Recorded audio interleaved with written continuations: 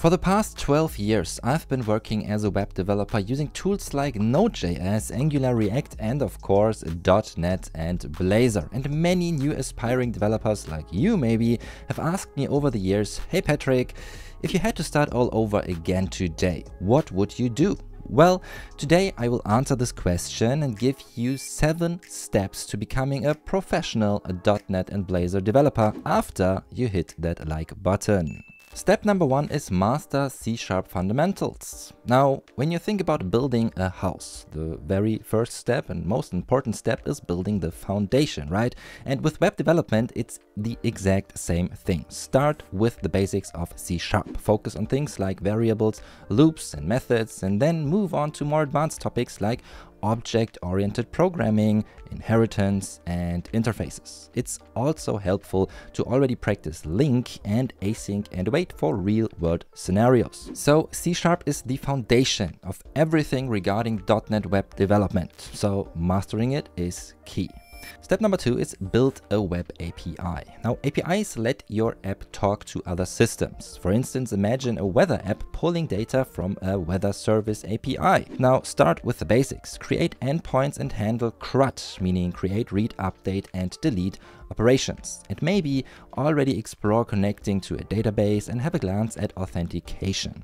Now this is a great way to build the backend of your web applications. Step number three would be Entity Framework. This is how you work with databases in .NET. Entity Framework acts as a bridge between your code and the database. For example, instead of writing SQL queries manually, which is, don't get me wrong, also a good exercise from time to time, you can use LINQ to query data in a way that feels more natural in C Sharp. It saves a ton of time. So practice setting up models, defining relationships, and as mentioned, running queries using LINQ. And you should also learn code-first migrations to handle database changes. It's a must-have skill for working with your data in your apps. And by the way, what is also a must-have for you is my new series of roadmap courses to help anyone become an expert in .NET and Blazor development. Just join the waiting list using the link in the video description below to be the first to know when these courses are available. Now step 4 is Blazor maybe my favorite one together with .NET Web APIs. Blazor is a powerful tool for building interactive web applications. With Blazor you can build a simple portfolio page, a small to-do list single page application, full-fledged browser games or even big e-commerce monsters. Anything is possible. Start by learning Blazor SSR or static server-side rendering and after that dive deeper into the server, WebAssembly and auto render modes. With that you will learn to create reusable components and handle user interactions.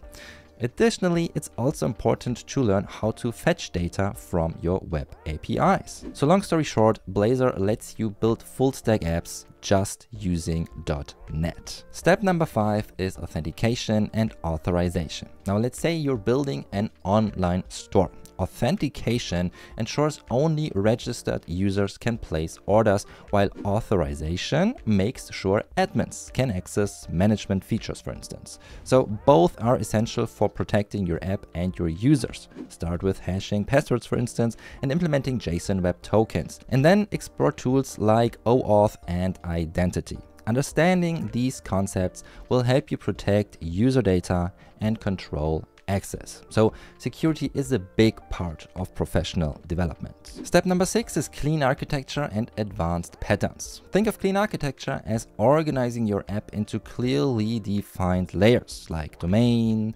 application and infrastructure for instance, making it easier to maintain your application and scale. For example, with CQRS, Command Query Responsibility Segregation, you can separate how you read data from how you write data, which is super helpful in applications. You can also learn the mediator pattern for better code organization, for instance, and another interesting architecture would be the vertical slice architecture. Now, this step helps you write code that scales well. And finally, step number seven, deploy and optimize your apps. So finally, learn to write tests. And deploy your apps. Think of testing like a safety net. It catches bugs before your users do. So it makes your apps more reliable and saves you countless hours of work because you notice directly when one of your changes is breaking your app. Start with unit tests for individual methods and then move on to integration tests for APIs. And for web applications, try also end-to-end -end testing with tools like Playwright. And if you want to dive really deep into testing, check out what test-driven development or TDD is. Now for deployment, tools like GitHub Actions and Docker automate the process with continuous integration, making it faster and more reliable to ship your apps to Azure or any other hosting service. So testing is very useful for catching bugs early and deploying your apps takes them live for real users. And now step number eight would be following my roadmap courses, but as I said, they are not out yet. So join the waiting list right now using this link right here, or just click the link in the video description below. I am really looking forward to seeing you there.